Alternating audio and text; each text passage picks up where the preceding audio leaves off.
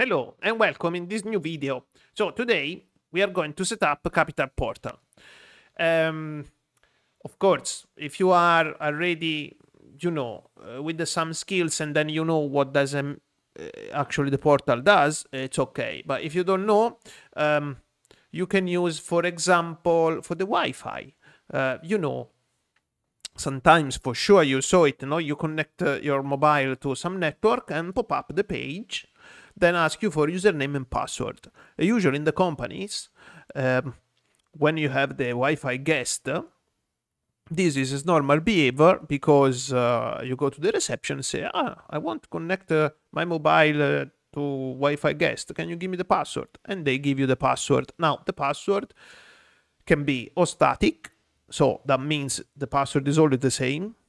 Can be dynamic, means uh, the reception generate the password for you or can be uh, valid for one week, for example. That, like this, you can deploy these kind of things uh, to a single office or hundred, a thousand office. Let's uh, let's see how to set up uh, the the portal with Palo Alto. Let's see how to set up Captive Portal.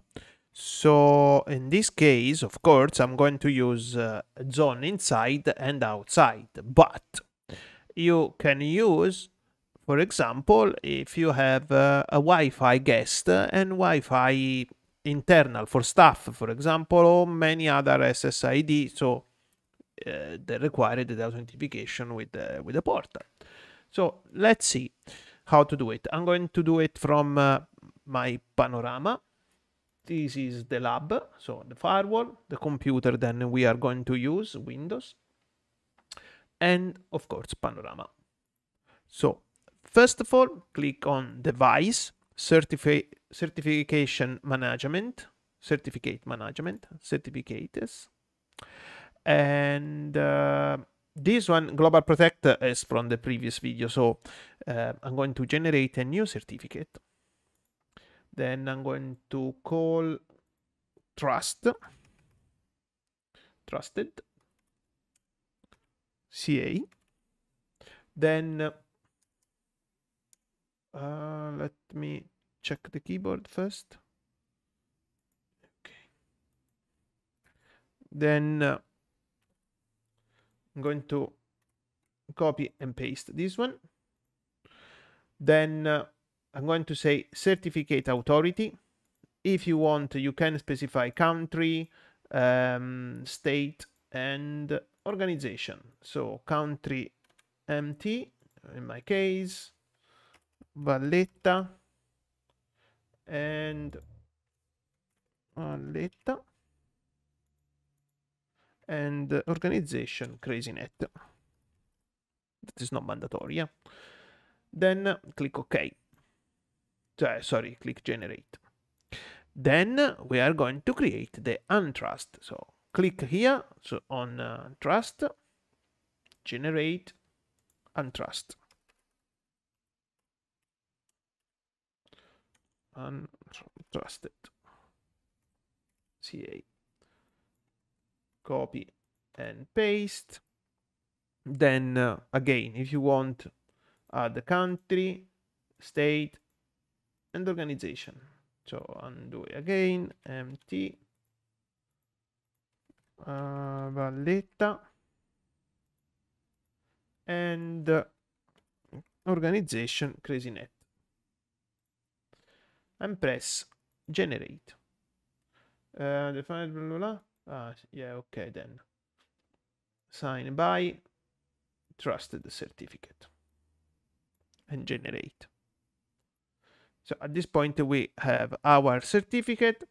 Click on trusted certificate and uh, select all of them. Same, uh, no, actually for untrusted, no, because it's important for untrusted, so okay. At this point, we are going to create the decrypt policy. For do that, go to policy, decryption, is here add and say decrypt decryption. Source, as I said in the beginning, in my case is inside and destination, it's outside. And uh, service HTTP and HTTPS. Then uh, option, this one is decrypt, so decrypt and decryption profile default and OK. Now we are going to create uh, even uh, no decryption. So add no the decryption same inside destination outside service HTTP and HTTPS option, not decryption. Decryption profile default. And press OK. Even I think it's better if you do if you do so. So under decryption, source, instead to source users any, uh, we say unknown uh, unknown. So in, and under decryption source no users. I think is better. So at this point before go on uh, with other steps click on network zone inside and click uh, here, select uh, enable user identification. Click OK. Go here, um, interface management. Now this one is only ping. And I'm going to add response page as well. Then uh, resp ping and response, response page are under uh, my internal interface so under this interface. In this case it's even one but just for testing. In the production you don't put. So at this point we have to um, create the users for testing. So under device users add users create user 1 password 123456 123456 okay i'm going to create another one. But user 2 123456 123456 right. Now authentication profile local. And uh, here uh, everything as default so local database advanced all. This is already selected from the, the previous video. Now user identification authentication portal settings click the gear here and uh, ah, forgot I need to create the SSL first SSL uh, decryption. Uh, sorry, SSL TLS profile. So add name we call uh, SSL SSL profile certificate trust.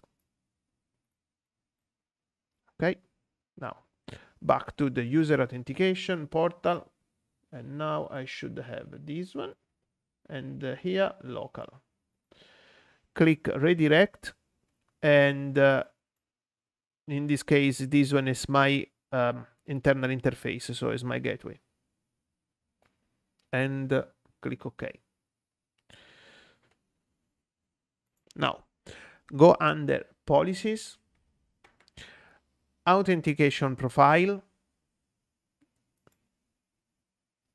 add I'm going to call uh, cp underscore portal source inside destination outside then uh, service as before uh, http and https action. Default web form and press ok. Under policies security uh, sorry panorama. Anyway policy security and add and we call cp portal. You can create even a group uh, for this one. Uh, cp portal.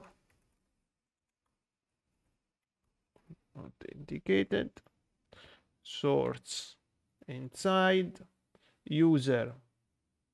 No user. Destination outside. Uh, I forgot. Application and http https and click ok. Then uh, we can uh, create another rules. Then I say no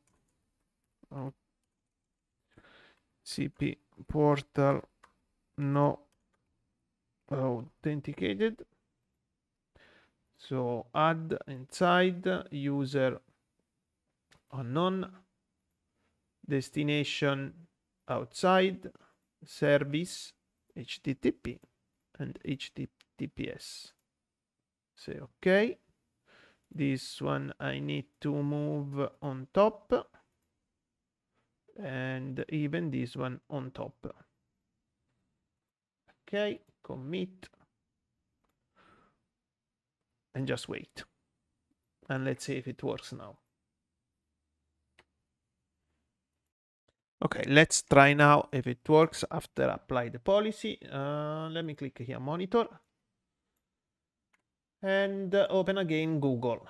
So uh, google sorry chrome so open this page. It's redirect me to palo alto login and user uh, one password one two three four five six. There we go. Now i'm receiving this error here on top you see? Let me try with google.com okay so it's fine it's fine the certificate. So because i'm authenticated now and i can open website uh, bbc.co.uk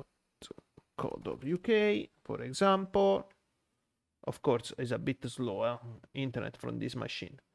And the security the certificate is fine and as you can see here, it's matching my policy. So cp portal authenticated and uh, if i'm going uh, here on the left authentication you should see user one authenticated. So user one authenticated. This is how to set up the portal. And of course usually you can apply for the wi-fi. Now the question is how you can generate the ticket for the wi-fi i mean for the guest no imagine your uh, customers uh, consultant etc etc they come to your office they ask you for a password then you have to generate a code or you have one code that generate for a while, for example, one week, then uh, expire the code and you generate another one, or you can uh, generate each time for each different person. How to do that? Well, you will see in the next video. Thank you for watching.